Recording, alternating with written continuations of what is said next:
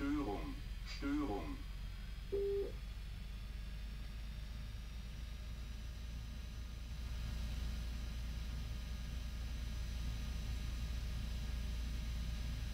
Fahrdienstleitung an IC 2442. Ich wiederhole. Fahrdienstleitung an IC 2442. IC 2442 hört. Guten Tag, Lavan. Du fährst heute den IC 2442 nach Magdeburg Hauptbahnhof. Da die Strecke zwischen Halle, Saale und Magdeburg im Moment aufgrund von Bauarbeiten gesperrt ist, verkehrt dein Zug heute über Bitterfeld und Dessau statt über Halle und Köthen. Im Moment bist du noch pünktlich, aber ich fürchte, das wird sich bald ändern. Eine S2 vor dir ist durch einen Polizeieinsatz in Jesnitz jetzt 20 Minuten verspätet und ich kann die S-Bahn erst in Dessau auf die Seite nehmen. Sorry. Du wirst also mit roten Signalen rechnen müssen. Versuche trotzdem so wenig wie möglich Verspätung zu bekommen. Denn dein Kollege, der dich in Dessau ablösen wird, muss, egal wie, die Anschlüsse in Magdeburg Richtung Köln und Cottbus erreichen. Ich wünsche dir trotzdem eine gute Fahrt. Hau rein. Jo, danke für die Infos, Kollege. Ich wünsche eine ruhige Schicht. IC 2442 Ende. So, und damit herzlich willkommen zu einer neuen Folge hier in TSW 2. Wir fahren heute mal wieder mit Ansagen. Sehr, sehr cool. Und bereiten uns gleich schon mal auf die Abfahrt vor. Auch wenn wir vermutlich einen Zug vor uns haben, hat der Fahrdienstleiter Bauer sein Daddelt gerade schon mal gesagt, dass wir trotzdem versuchen sollen, einigermaßen pünktlich zu sein. Denn wir haben wichtige Anschlüsse in Magdeburg. Beziehungsweise der Kollege hat wichtige Anschlüsse in Magdeburg. Wir fahren heute nur bis Dessau. Und die müssen wir auch erreichen. So, dann wollen wir Leistung hier mal aufschalten, auf, glaube auf die 60, die wir Ausfahrt hier haben. Dann können wir uns einmal hier befreien, beziehungsweise das Ende der LZB bestätigen. Wir sind hier noch ganz knapp in der LZB drin. Aufgesperrt ist es. Türen zu. Und dann würde ich sagen, haben wir das Licht richtig an? Ich schaue noch mal ganz kurz nach, aber sollte ich gerade eingestellt haben. Schön, dass ich das drei Sekunden später vergesse, dass ich das gerade umgeschaltet habe, den Schalter. Gedächtnis-Sieb bei mir und so, ne? Mein Gedächtnis ist ein Sieb, wie ich immer so schön sage. So, dann. Circa 50 Kilonewton. Und auf geht es. Wir fahren natürlich auch nicht in der Standardlackierung der 101, sondern passend, weil wir uns auf den Weg nach Dessau machen, mit der 101 Visit Dessau 100 Jahre Bauhauslackierung. Und die stammen von BB. BB Vollgas, genau, mit 3a. Und ist aus dem Creators Club. Vielen Dank für diese tolle Lackierung.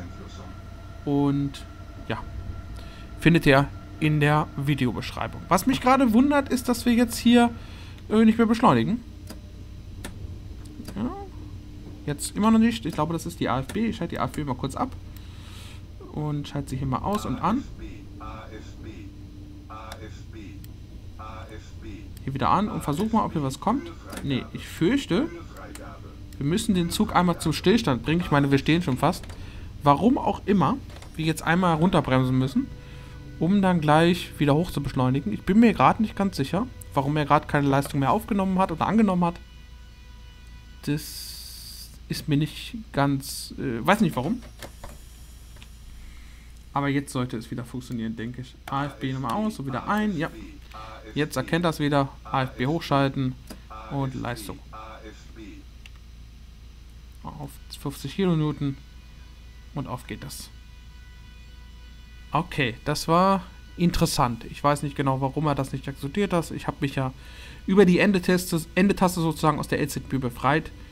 In Bitterfeld ist ja noch LZB auf der Strecke rechts hier, die Strecke Richtung Berlin, das ist die Strecke Richtung Berlin, ist ja auch LZB und ich glaube, also Richtung Dres äh, Richtung Leipzig ist auf jeden Fall äh, LZB und Richtung Halle ist, glaube ich, auch LZB. Nur auf diesem Abschnitt Richtung Dessau müssen wir mit PZB fahren, auf dem wir jetzt fahren. So. Und deswegen wundert mich das gerade ein bisschen. Eigentlich habe ich da über die Endetaste das Ende der LZB bestätigt. Und warum ich dann keine Leistung mehr aufschalten konnte. Keine Ahnung. Die Strecke ist ja auch ein bisschen älter und die LZB wurde erst später hier von DTG noch ins Spiel, in die Strecke mit reingebracht. Und vielleicht hat das damit was zu tun. Oder ich habe was vergessen. Ist durchaus bei mir auch immer möglich. So, jetzt nochmal kurz zu den Ansagen. Da habe ich noch gar nicht geschafft, mich zu bedanken, weil ich schnell losfahren wollte. Vielen, vielen Dank an die Ansagen von Bauer sein Daddel, den ihr vorhin als Fahrdienstleiter gehört habt. Und gleich werdet ihr auch noch als äh, Zugchef den Train Sim Play hören. Wir müssen auf 60 runter. Das hätte ich jetzt fast vergessen eher. So. Durch die ganze Aufregung mit der Bremsung gerade dass wir hier nur 60 fahren dürfen, denn wir werden jetzt hier aufs Regelgleis wieder rübergeführt. Wir fahren jetzt gerade auf dem Gegengleis und jetzt geht es aufs Regelgleis, das heißt aufs rechte Gleis. Züge fahren in Deutschland rechts. Deswegen fahren wir jetzt auch wieder auf der richtigen Seite. So. Ähm, den Kanal von Bauer sein Daddelt und von Train Sim Play kann ich nur sehr empfehlen. Die Kanäle machen auch TSW 2 Content viel, aber auch andere Videos. Gucke ich selber auch sehr, sehr gerne. Kann ich beide nur empfehlen, findet ihr unten in der Videobeschreibung. Vielen Dank nochmal für die tollen Ansagen. Und dann würde ich sagen, lassen wir den Transit Play auch erstmal die Fahrgäste begrüßen.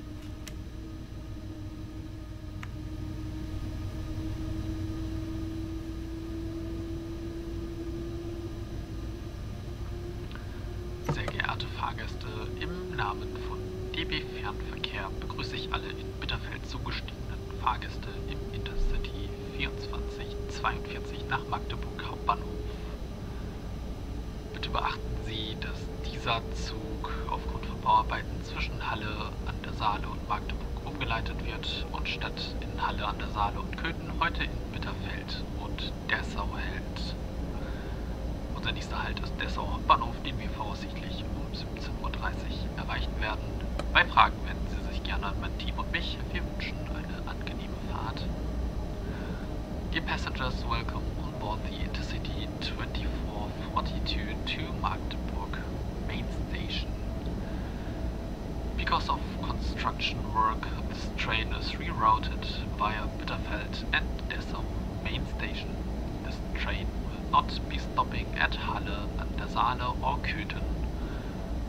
Our next stop will be Dessau main station at 5.30 pm. If you have any further questions, do not hesitate to approach me or my team. We wish you a pleasant journey. So, vielen Dank auch nochmal an die Ansagen, finde ich super. Ich finde Ansagen in so einem Video, ähm, die geben dem Ganzen viel mehr Atmosphäre. Das ist echt super. Und ja, das macht immer wieder Spaß, mit den Ansagen zu fahren. Und das Szenario habe ich übrigens selbst erstellt, falls ich das noch nicht erwähnt habe. Ach, das war nur 120, glaube ich, die hätte ich nicht bestätigen müssen. Ähm, auf jeden Fall, das Szenario habe ich selbst erstellt und ich versuche das auch in, die, in den Creators Club hochzuladen. Das wird allerdings wohl noch. Ähm, ich weiß nicht, ob ich das schaffe zu der Folge, die. Also wenn die Folge rauskommt. Da bin ich mir nicht ganz sicher, ob dann das im Creators Club schon hochgeladen ist oder nicht. Bisschen spät auf die 120, muss man sagen. Und jetzt kommen die 70. Als nächstes. Und da hinten kommt schon wieder ein rotes Signal. Da ist schon die S-Bahn, die da vor uns Verspätung hat, wie ich vorhin schon angekündigt. Also, wenn ihr das Szenario, wenn ich das im Creators Club hochlade, das Szenario, werde ich da auch alle Lackierungen mit rechts in die Video, äh, in die Beschreibung, nicht Videobeschreibung, in die Beschreibung der, des Szenarios im Creators Club reinschreiben, damit ihr einfach wisst, welche Lackierung habe ich hier verwendet. Ähm, ich meine, wenn man die nicht hat, dann geht er halt auf die Standardlackierung. Ist jetzt auch nicht so schlimm, aber ich finde es immer ganz cool, wenn man hier die verschiedenen Lackierungen hat. Das Szenario ist ähm, nicht nach einem Fahrplan erstellt, aber sonst eigentlich ganz realistisch. Das heißt, ähm, diese, die Züge, die hier fahren, der Verkehr sollte ziemlich realistisch gestaltet sein. Also S-Bahn und Intercity-Verkehr und was wir alles noch gleich sehen werden. Will ich zu viel spoilern. Und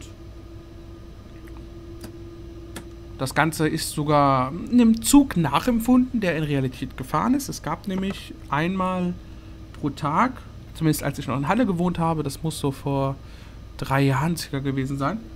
Und da gab es eine, also normalerweise fuhren immer die IC-2-Züge zwischen Leipzig und Dresden und Köln oder Norddeich-Mohler, glaube ich, fuhren sie hoch meistens.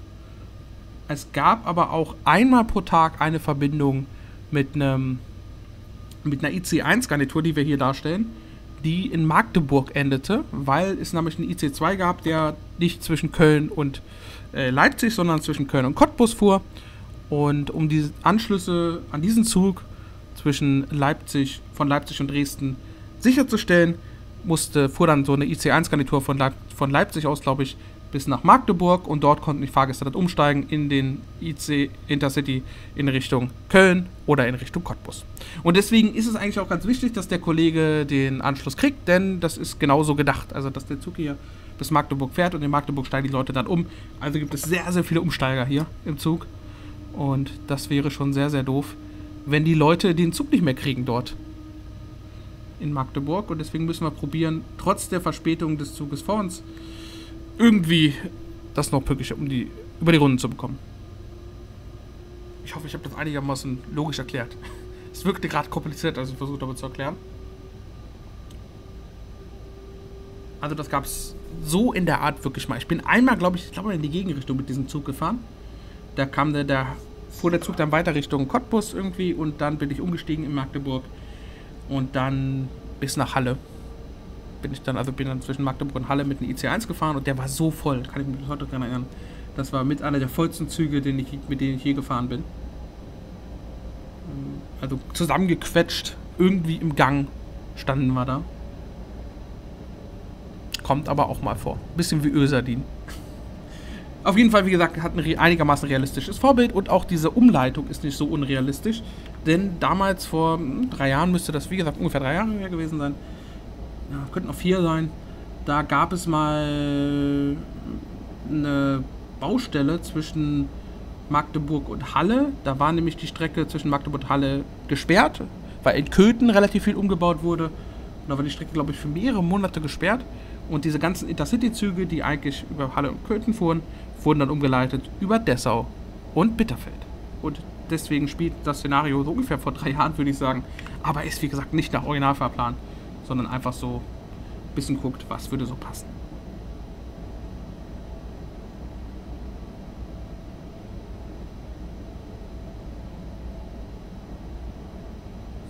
So, wir haben jetzt wieder ein grünes Signal vor uns, können uns aber noch den Zug mal angucken, wie er an uns vorbeifährt, oder? Ja. Lass uns die wunderschöne Lackierung nochmal bewundern und den Intercity oh, entgegen. Da kommt der IC2 entgegen. Sehr schön. Die Züge würden normalerweise hier fahren. Oh, Moment. Ich fürchte, der hat... oh, ich glaube, der ist mit dem Steuerwagen falsch rumgefahren, der IC2. Das habe ich auch noch nicht gesehen. Okay. auch nicht schlecht. Ja, die Steuerwagen waren öfter kaputt beim IC2, aber den Steuerwagen am falsch rum anzuhängen, ist schon interessant, möchte ich mal sagen. okay, ja, gut, TSW.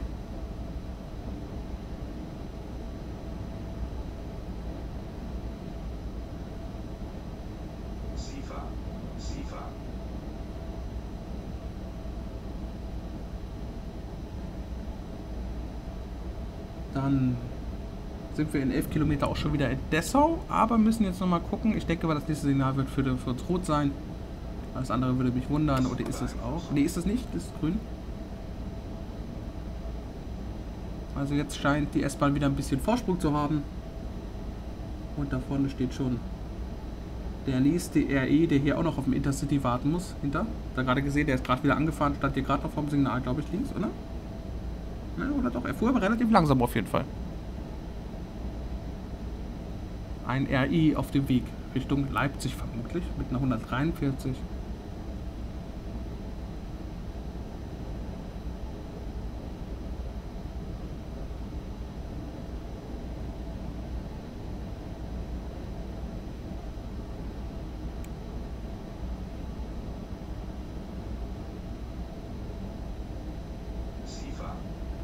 Siefer. Und dann fahren wir hier mit höchstens 120 entlang. Ähm, wird auch die Geschwindigkeit bis Dessau sein. Also so schnell ist die Streckenabschnitt nicht. Strecke ist ja auch schon etwas älter, man sieht es. Man das nochmal von außen drauf gucken. Ähm, aber ich finde sie immer noch schön. Macht immer wieder Spaß, um ein bisschen Rapid Transit zu fahren. Mit vor allen Dingen mit dieser wunderschönen Lackierung. Dessauer Rosslau 100 Jahre Bauhaus. Sehr, sehr schön. Cool, mal, wie die Wagen wackeln. Mit der, mit der Federung. Sehr schön. Ist mir noch nie so aufgefallen, aber diese Strecke ist auch ein bisschen, weil sie ein bisschen älter ist, ein bisschen huckelig, bumpy. Man merkt so ein bisschen, wie der Zug auf den äh, runter ruckelt, aber das sieht sehr, sehr cool aus. So Details mag ich ja. Und man sieht, dass der Wagen hier so, der schwingt ja auch so ein bisschen nach, die, die Dämpfung hier. Sehr, sehr cool gemacht. So. Also die Dämpfer schwingen so ein bisschen nach. Sehr cool. So, 2,1 Kilometer bis zum roten Signal. Und ich glaube, da müssen wir dann auch mal zum Stehen kommen. Denn die S-Bahn wird vermutlich gerade vor uns in dem Bahnhof halten.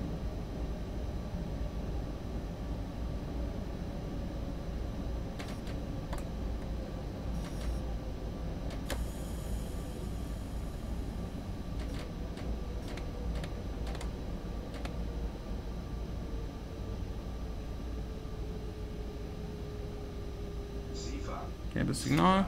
Zugbeeinflussung. Bisschen können wir ihn noch rollen lassen.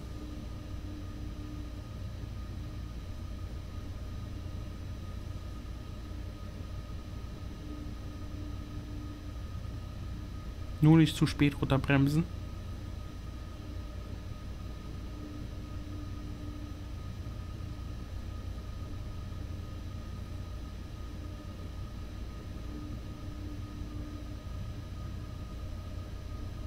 Sie fahren.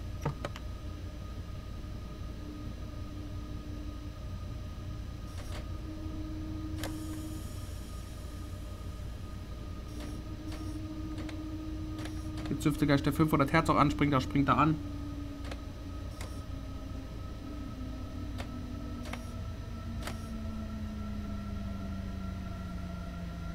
Hätten wir gar nicht so stark bremsen müssen, ne? Und da stehen wir einmal.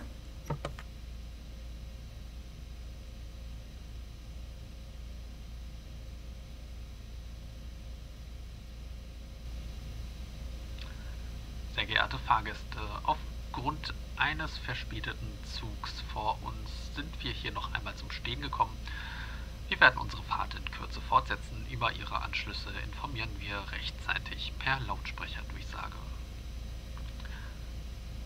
Dear passengers, a delayed train is currently blocking our track. We are going to continue our trip in a moment. We will inform you about the delays through our speaker system.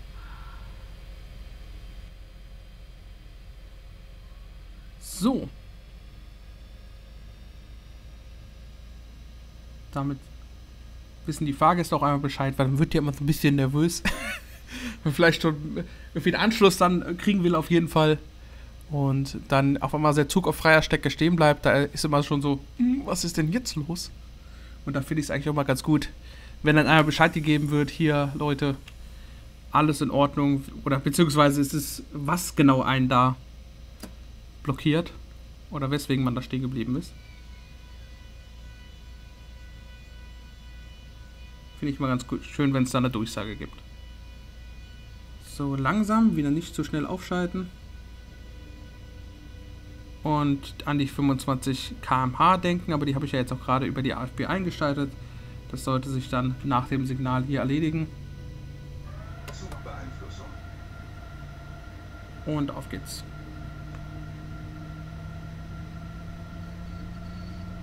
Und wieder zu viel Leistung, ja. Da wollte ich wieder zu viel aufschalten und jetzt geht's in Richtung Dessau wieder. Ah, was ist los? Ach, wir sind im Wechselblinken, ne? Ja, da habe ich natürlich nicht dran gedacht, dass wir natürlich dadurch, dass wir jetzt gerade 500 Hertz hatten, schön im Wechselblücken sind.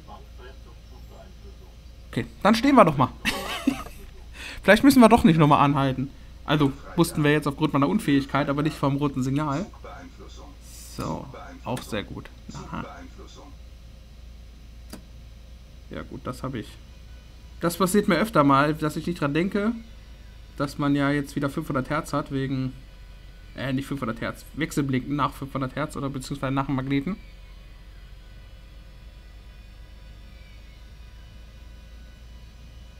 So, haben wir die Bremse jetzt gelöst? Ja, der braucht ein bisschen natürlich. Die Wagen brauchen immer so ein bisschen, um sich aus so einer Zwang zu lösen. Dann sind die Bremsen ja einmal richtig angezogen. Und auch wenn es ein Personenzug ist mit fünf Wagen, sechs, sieben Wagen sind es, sieben Wagen, sieben Wagenzug, ähm,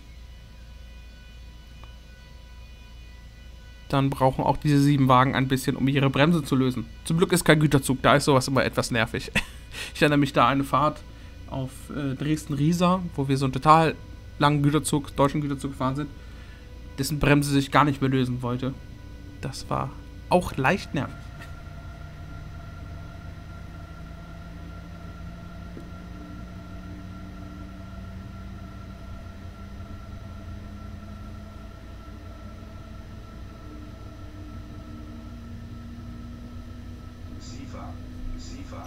Aber wir sind ja jetzt nicht mehr so weit von Dessau entfernt.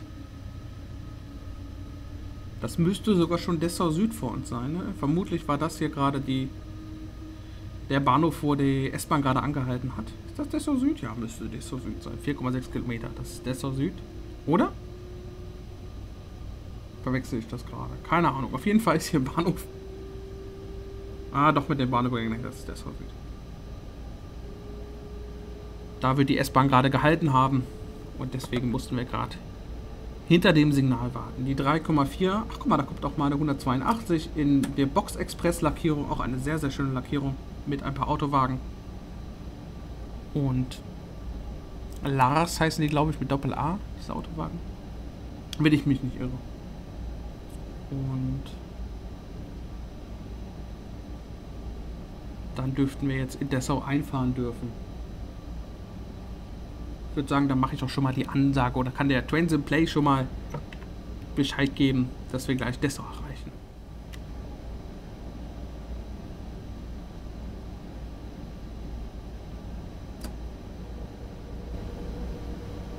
Sehr geehrte Fahrgäste, wir erreichen jetzt Dessau Hauptbahnhof auf Gleis mit einer Verspätung von 10 Minuten. Dort haben Sie Anschluss an einen Regionalexpress nach Magdeburg Hauptbahnhof über Roßlau und Zerbst um 17.42 Uhr vom Gleis 2 und einer Regionalbahn nach Aschersleben um 18.02 Uhr von Gleis 4. Bitte beachten Sie auch die Lautsprecherdurchsagen am Bahnsteig und nutzen Sie auch die DB Navigator App. Wir bedanken uns für die Reise mit DB Fernverkehr. Auf Wiedersehen. The passengers we will shortly shortly arrive at Dessau main station. The train has a current delay of 10 minutes. Your connecting trains you can reach the Regional Express to Magdeburg via Roßlau and Zerbst, departure 5.42 pm from platform 2, and a regional train to Aschersleben, departure 6.02 from platform 4. Thank you for choosing Deutsche Bahn today. Take care and goodbye. Zugbeeinflussung, Warum bremsen wir jetzt schon auf 40 runter? Dann haben wir gleich noch mehr Verspätung als 10 Minuten, die wir gerade haben. So. Da ist das gelbe Signal nochmal. So langsam müssen wir jetzt doch nicht in Dessau einfahren. Nur jetzt nochmal Leistung aufschalten ist immer so eine Sache. Das war nur wieder der Kriechgang. Und wir sollen ja versuchen, nicht so viel Verspätung reinzufahren noch. Jetzt haben wir schon 10 Minuten. Ich hoffe, dass der den Anschluss dann noch kriegt. Vielleicht kann der Kollege gleich auch noch ein bisschen was rausfahren, wenn er sich auf den Weg nach Magdeburg macht. Aber 10 Minuten ist, glaube ich, so die Höchstgrenze, damit der Kollege dann noch die Anschlüsse kriegt. Oder damit die Anschlusszüge nicht so lange warten müssen. So, und hier ist ein bisschen interessant. Ich glaube, wir werden ein bisschen über diese Markierung hinausfahren, um den Zug einfach so anzuhalten, dass er im Bahnhof steht.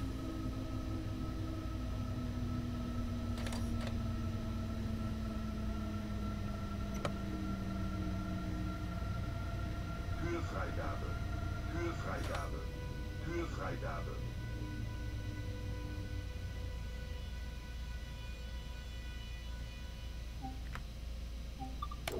So, Türen auf. Und dann würde ich sagen, Schauen wir uns noch einmal an, wie der Zug hier in Dessau steht. Da, wo er hingehört, laut seiner Aufschrift. Sehr, sehr schönes, passendes Bild hier in Dessau. Mit den Intercity-Wagen. Und dann hoffe ich, dass es euch gefallen hat. Mal wieder eine Folge mit Ansagen. Hat lang gedauert bis zu seit der letzten Folge, ne? Muss ich mal häufiger wieder machen. Um, hab durch dank dem Creators Club auch echt wieder Bock, ein paar Szenarien zu erstellen, weil meistens mache ich mit Ansagen ja diese eigenen Szenarien, die ich gebaut habe. Und ja, werde ich vielleicht das ein oder andere Szenario noch mal wieder erstellen und werde ein paar befreundete YouTuber und andere Leute anfragen, ob sie nicht Bock hätten, was einzusprechen. Und dann machen wir das wieder häufiger versuchen, denke ich mal. So, jetzt würde ich sagen, ich hoffe, es hat euch gefallen. Und ich verabschiede mich. Dankeschön fürs Zuschauen. Macht's gut. Und tschüss.